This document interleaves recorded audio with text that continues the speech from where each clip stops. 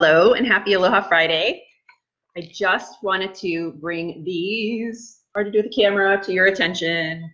Um, I appreciate local businesses and I appreciate local publications. And I think we, a lot of us are familiar with Go Kailua.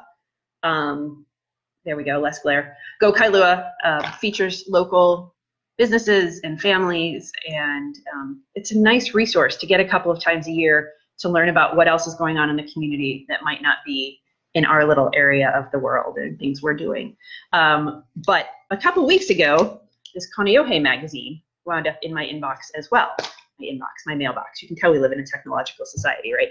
Um, Kaneohe magazine's inaugural edition came out. It's got some great information in there about the history. It's got fabulous vintage photos. Um, Hula Preservation Society's feature. There's a fishing article. So things you may or may not be interested in, but things that we can all learn about that's going on in our community. So just wanted to let you know that those things are floating around in our mailboxes. They may be sitting on your counter and maybe this weekend you'll have a chance to just sit down with them and look and see what's going on on our windward side. So uh, congratulations to the Kaneohe Magazine people for getting their inauguration, inaugural edition off. And um, like I said, they're both filled with some really great stuff. So grab your coffee or your wine or whatever your beverage of choice is, a nice glass of water, and sit down with the magazines and learn more about our community. Hope you're having a great week and have a wonderful weekend.